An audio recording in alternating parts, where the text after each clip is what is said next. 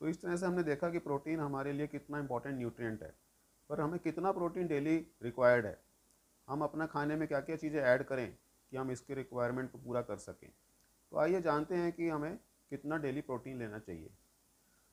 एक average sedentary lifestyle का person है तो उसको पॉइंट एट ग्राम पर केजी बॉडी वेट के हिसाब से प्रोटीन की रिक्वायरमेंट होती है।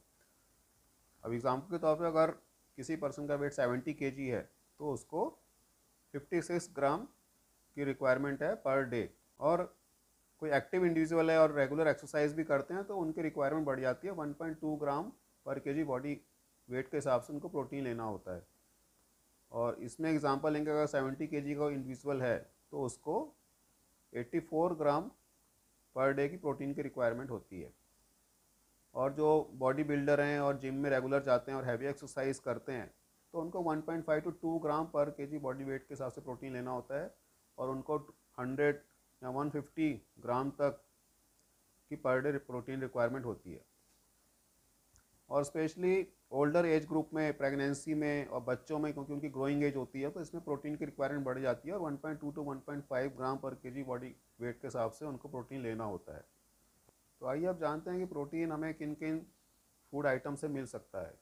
वेजिटेरियन ऑप्शन में जाएँ तो पल्सिस एक बहुत ही कॉमन आइटम है, हर घर में उपलब्ध रहता है, जिससे हमें भरपूर मात्रा में प्रोटीन मिलता है। और पल्सिस में और दालों में लगभग ten to fifteen percent protein रहता है।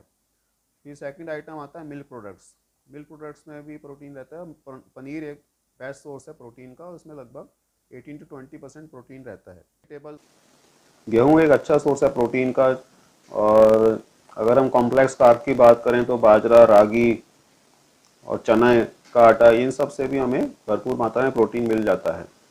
और कुछ वेजिटेबल्स है जिसमें हमें प्रोटीन अच्छी मात्रा में मिल जाता है। उसमें सबसे पहला आता है सोयाबीन सोयाबीन में लगभग 17 परसेंट तक प्रोटीन रहता है और सोया चंक्स जो सोयाबीन से बनते हैं, उसमें 35 परसेंट तक प्रोटीन हमें मिल जाता है। और सबसे अच्छी बात यह है कि उसमें हमें सारे एसेंशियल अमाइनो एसिड्स मिल जाते हैं। उसके बाद आता है पालक में अच्छी क्वान्टिटी में प्रोटीन रहता है। कॉलीफ्लावर है मशरूम्स हैं। बीन्स हैं और मटर में अच्छा प्रोटीन रहता है कॉर्न में अच्छा प्रोटीन मिल जाता है स्वीट पोटैटो एक अच्छा सोर्स ऑफ़ प्रोटीन है। और वेजिटेरियंस के लिए सीड्स और नट्स भी एक अच्छा सोर्स है प्रोटीन का, जिसमें पिस्ता, काजू, बादाम, अखरोट और पम्पकिन सीड्स इसमें लगभग 10 से 15 परसेंट तक हमें प्रोटीन मिल जाता है।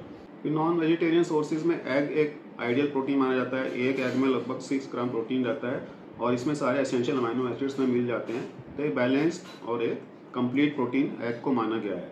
इसी तरह से मीट चिकन फ़िश में भी अच्छी क्वांटिटी में प्रोटीन मिल जाता है। लगभग 20 से 25 परसेंट तक इन सब में प्रोटीन रहता है।